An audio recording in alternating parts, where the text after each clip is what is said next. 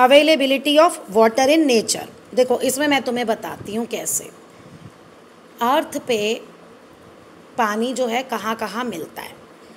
अर्थ पे बहुत सारा वाटर है जो हम पढ़ेंगे। एक अजीब मतलब बहुत हैरानी वाली बात मैं तुम्हें बता रही हूँ कि अगर हम ये मान लें कि अर्थ पे पूरा बकेट वाटर प्रेजेंट है फुल बकेट तो उसमें से जो हम यूज़ कर सकते हैं, जो हम ह्यूमन बींग्स के लिए यूज़फुल है वो सिर्फ़ दो चम्मच टू स्पून है। तो इसीलिए हम कहते हैं कि वाटर को बचाओ वाटर को कंजर्व करो वाटर को वेस्ट मत करो। अब वो आप पढ़ेंगे कैसे कैसे। कहता है, जब हम अर्थ पे अर्थ की पिक्चर लेते हैं स्पेस से तो अर्थ हमें ब्लू दिखती है। अर्थ हमें ब्लू क्यों दिखती है?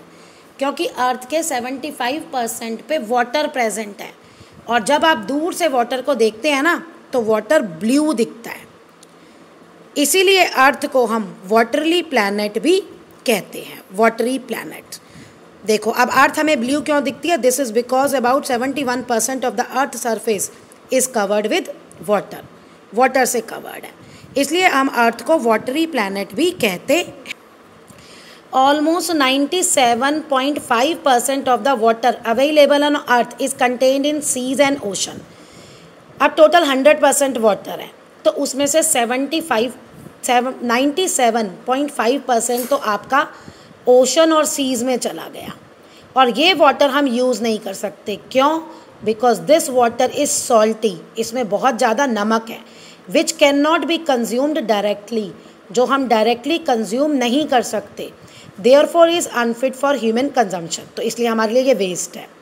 अब बाकी कितना बचा? 2.5 परसेंट अब 2.5 परसेंट में भी देखो 1.7 परसेंट जो है, वो आइस कैप फ्रोज़न ग्लेशियर्स है ना? Ice caps north pole south pole जहाँ जहाँ बर्फ़ है, उस फॉर्म में है। 1.7 percent on the top of the mountains and in glacier चलो, ये भी चला गया। अब 0.8 परसेंट जो है, वो फ्रेश वाटर है। और वो फ्रेश वाटर हमें कहाँ कहाँ मिलता है? रिवर्स वाटर लेक्स और अंडरग्राउंड वाटर और यही हम यूज़ करते हैं। कितना यूज़ कर रहे हैं हम?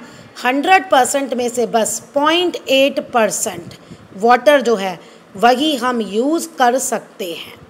इसलिए मैंने तुम्हें कहा था कि अगर पूरा बकेट वाटर प्रेजेंट है तो हम सिर्फ़ दो स्पून ही यूज़ कर सकते हैं। Forms of water we know that water exist in three physical state ये तो आप शुरू से पढ़ते आ रहे हो थर्ड फोर्थ में भी पढ़ा होगा कि वाटर की तीन स्टेट्स होती हैं लिक्विड सॉलिड गैस है ना? और हम ठंडा करके या गर्म करके इन स्टेट्स को चेंज कर सकते हैं। आइस है आइस को आपने गर्म किया, वो किस स्टेट में चेंज हो गया? वाटर में। चलो सॉलिड स्टेट सॉलिड स्टेट में हमारे पास क्या आता है? Snow and ice present as ice caps at the poles of the earth snow covered mountains and glaciers यहाँ यहाँ ये हमारा मिलता है।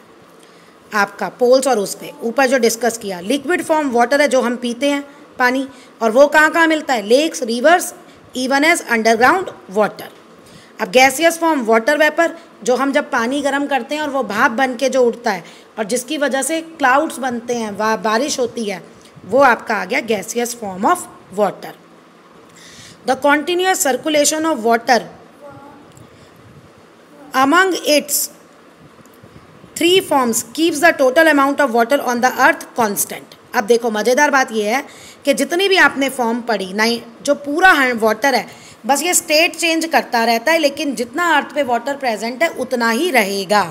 ना कम होगा, ना ज़्यादा होगा। Even when the whole world is using it for millions of years और तुम कहोगे कि कहाँ जाता है, जबकि हम लोग भी तो इतने लोग हैं, वो भी तो यूज़ करते हैं वाटर को। लेकिन जितना टोटल अर्थ पे है, वो कांस्टेंट है। उसकी क्वांटिटी चेंज नहीं होती।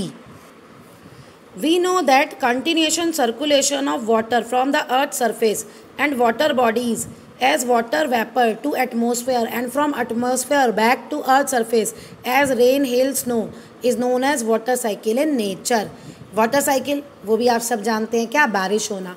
अब बारिश होने में क्या होगा? पहले अर्थ के सरफेस से जो वाटर बॉडीज़ हैं, वहाँ से वाटर इवेपोरेट होता है, ठीक है ना? एटमोसफेयर में जाता है, वहाँ क्लाउड्स बनते हैं और फिर वापस अर्थ के सरफेस पे रेन हेल स्नो के रूप में वापस आता है। इसी को हम पूरा कहते हैं water cycle the water on the earth has been maintained for millions of year by various process which make the water cycle क्या कह रहा है वाटर जो है अर्थ पे इस बहुत कितने करोड़ों सालों से ऐसे ही मेंटेन्ड हो रहा है थ्रू वाटर साइकिल प्रोसेसेस से। यानी वाटर साइकिल में दो मेन प्रोसेसेस हैं आपकी कंडेंसेशन एंड इवेपोरेशन तो इन दो प्रोसेस से इतने सालों से अर्थ पे वही वाटर प्रेजेंट है।